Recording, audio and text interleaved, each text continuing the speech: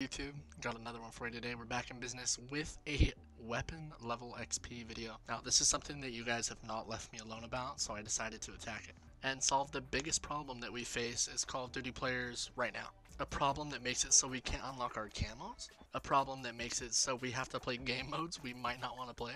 A problem that makes it so we might even have to play Warzone or a game we don't even want to play. And last but not least, a problem that sometimes suggests we play with more than ourselves, insinuating I have friends to play with that will just level up my weapons. I'm not talking about anyone subscribed, to you are my friend. That being said, yes, we're going to go over a couple strategies today, how to get your weapons leveled up as fast as possible, whether that's zombies camos or multiplayer camos or just in general, the fastest way to level up weapons and what's going to suit you best. So if you're new to this channel, I don't like to waste any time. We're going to jump straight into the good stuff. Before I do so, I just want to say thank you. I swear, yesterday I was just saying thanks for 100 subscribers. Today, as I sit here, we're breaking 300 subscribers already. I'm glad the videos I've been able to make have been beneficial to you guys. I'm going to keep posting content. 2021 is my year. It's your year. We're in this together. So if you're new, drop a sub. If you like the video, leave a like. It helps my name get out there. And if there's anything I can do better in the next video or that you'd like to see in the future, leave a comment below. With that being said, I love all of you and let me show you what's up. Let's get to it. Before we jump into the video, I just want to show you guys something briefly. Now, if you look at my double weapon XP tokens, um, you know, I have uh, three 15 minutes, one, one, six, one hours. Um, so I do have a couple weapon XP tokens, but I'm going to hop over to Modern Warfare.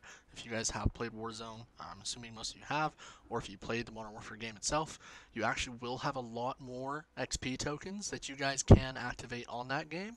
Head back into Cold War and uh, and use the benefits there. As you guys will be able to see here, obviously we're on Modern Warfare. Now if I open up my XP tokens here, I have 3, 5, 21 and 11. So, you know, a lot more. Without question, the most important thing you guys can take advantage of are double XP weekends and the tokens that you do have. So make sure you're hopping back into this game just to check how many you have. Not that you need to play Warzone if you don't want to anymore or anything like that, but definitely worth checking on the XP tokens, activating it on this game, jumping back over and playing Cold War. Now, before we jump into the gameplay, I'm going to talk about something that isn't talked about enough. If you are going for mastery camos or camos or anything in multiplayer, spend your time leveling your weapons in multiplayer. Vice versa, if you're going for mastery camo or camos in zombies, spend your time leveling your weapon in zombies. Yes, I know, unpopular opinion, your question is going to be, well Zach, if the fastest way to level up your weapons in Dirty Bomb, why not play Dirty Bomb then go level up my weapon in zombies? For example, if you want to level up your weapons in rounds 1 through 10 of zombies, and then move over to multiplayer to try and get gold, diamond, dark matter, ultra over there. In the meantime, you could have completed six bloodthirsties just from leveling up your weapon in multiplayer. Now, having to play back through all those camos being at zero, you can't get that time back. You will be playing for more time than you would have if you played in the game mode which you want your camo. So that being said, I'm going to show the fastest way to level up your weapons in zombies and in multiplayer and let you choose the best path for you now that you know the benefits. Now, all of my weapons are max level other than the Groza, which is 14 and a half. So we're going to use this gun for this game of zombies and I'll show you exactly what to do. So for those of you that watch my videos, you know we're a big fan of speedruns. Um, in Zombies itself, after you pass round 2, I'm going to open the first door, and the second barrier to the top of Nacht, uh, just because its spawn rates will be the fastest. All the zombies will kind of come at you in a straight line here. We've brought Ring of Fire, which gives us a huge damage buff. As we play into a little bit later of the rounds, we're going to need that because we're not pack-a-punching. We're not leveling up the tiers of our weapons or doing anything like that, just because that time spent running around the map could be spent getting kills, leveling up your weapon. There's our first level up, and as you guys can see, we're also unlocking camo challenges for the gun. If I were doing this in multiplayer, I would not be doing that. I'd have to come back in and play after, and get those 250 kills all over again, which is just added time. Now, in zombies, when you're not turning the power on, um, there will be no elite zombies that spawn until round 15.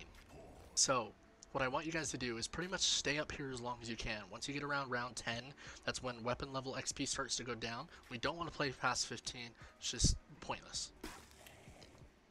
I actually ran out of ammo, so what you guys can do is jump down to the bottom here, head back up to the top. Is there another level up?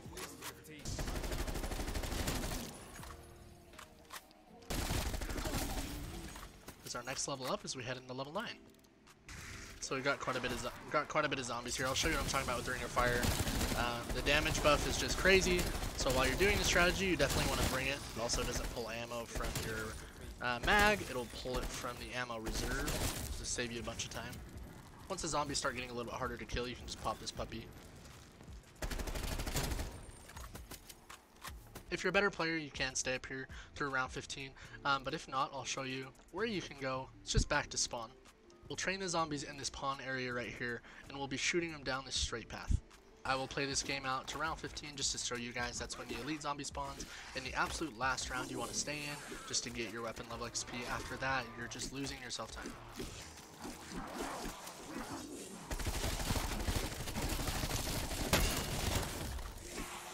Another level up just so we can be more efficient. It looks like they are all in the pile there. So we're going to pop it down sight. Just aim for the head here.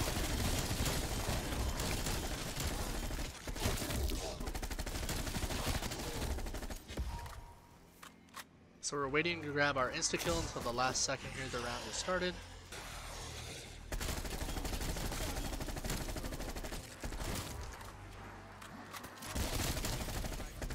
It's another level up for us.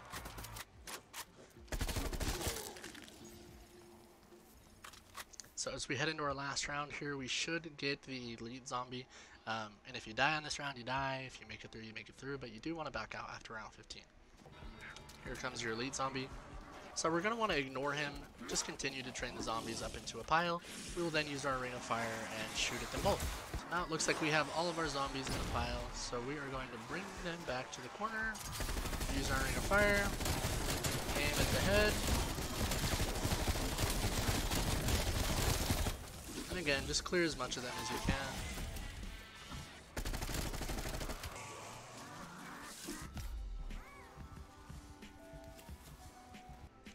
Pretty much has it. We just ended the round there.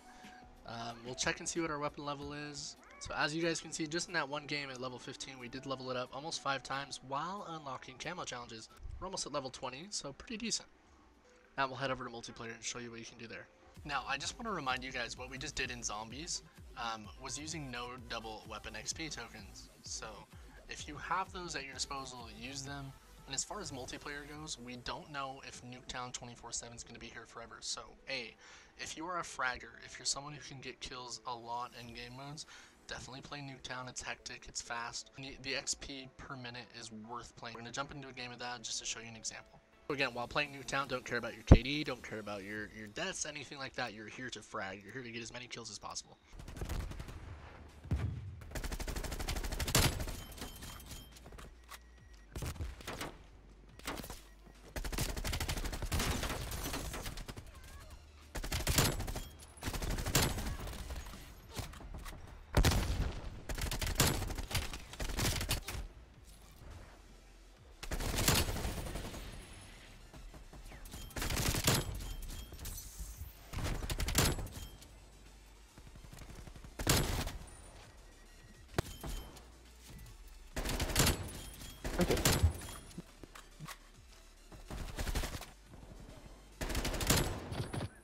Oh, this is a great fuck. they mad.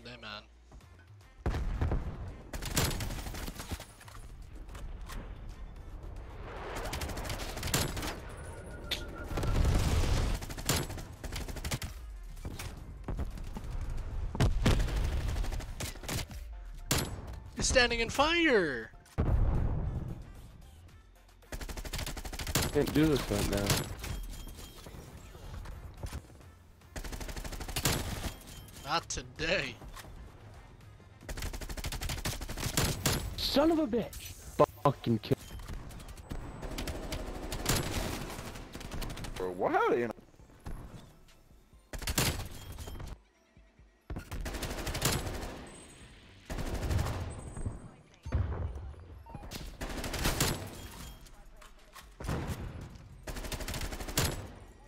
I'm getting spawn killed.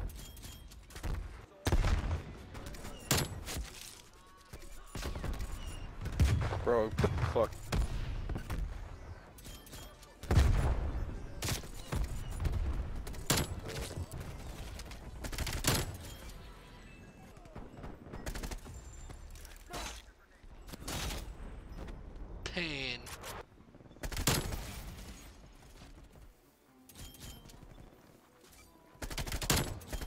They're smoking shit.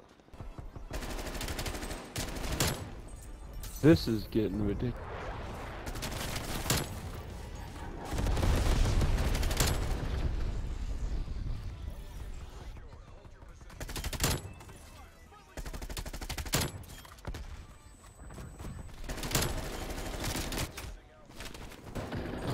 That's bullshit. see, dropping 56 and 20 on top of a lot of So if you're able to frag out multiple, Bullshit. it's definitely worth it to do so and play Nuketown. Also get Monster. dicked on saying fucking kill feed twice.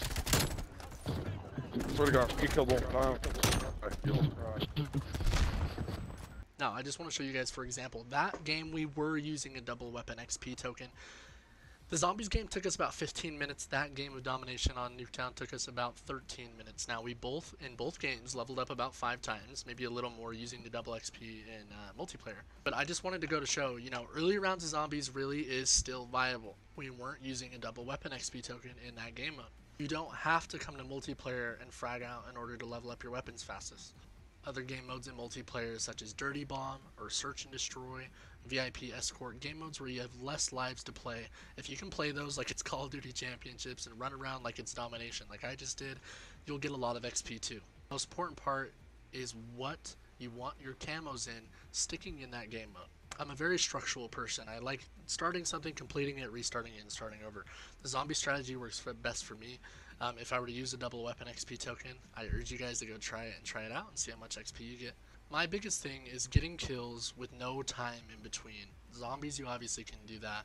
You know, Nuketown 24/7, you obviously can do that. There's other options like Plunder and Warzone on Modern Warfare, or you know, like a Dirty Bomb. But there's big gaps in between kills, and you're wasting time you could be using getting smaller amounts of XP to go faster. I know in most YouTube videos people don't give you their opinion, they'll just tell you both options and then say do both.